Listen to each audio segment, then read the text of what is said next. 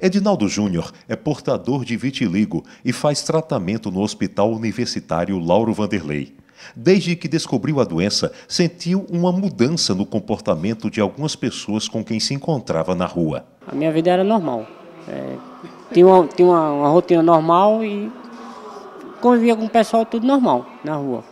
Certo? Mas depois que o, que o vitiligo veio aparecer, que eu vim notar, eu notei que as pessoas já olhavam com um pouco mais de diferença, que se era alguma doença de pele que, contagiosa que passava, certo? incomodava um pouco entrava no coletivo, aí notava que as pessoas já iam sentar perto assim, davam uma olhadinha assim e sentava já no outro, no, no outro local.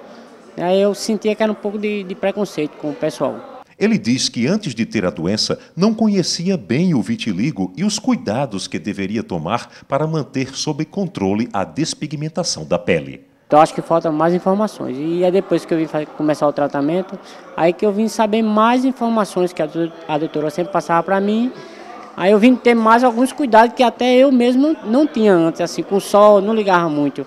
Né? E isso aí acarretava mais, aparecer mais problema devido à pele. A professora Esther Paletó faz parte da equipe do HU de João Pessoa que oferece atendimento especializado a quem tem vitiligo. Ela explica o que é essa doença não contagiosa. O vitiligo é uma condição de pele que se caracteriza por manchas brancas. Essas manchas brancas também podem existir do cabelo ficar descolorido, cabelo ou pelos brancos no corpo, mas especialmente áreas da pele.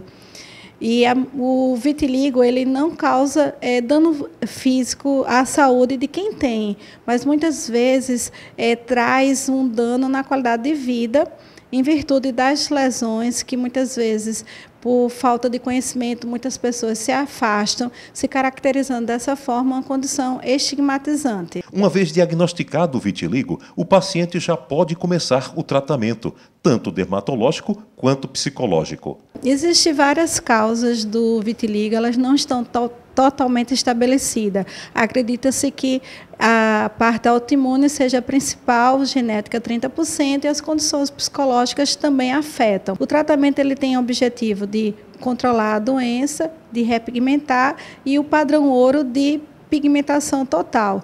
E quando existe componente de ansiedade, estresse, é de extrema importância o acompanhamento com psicólogo ou psiquiatra.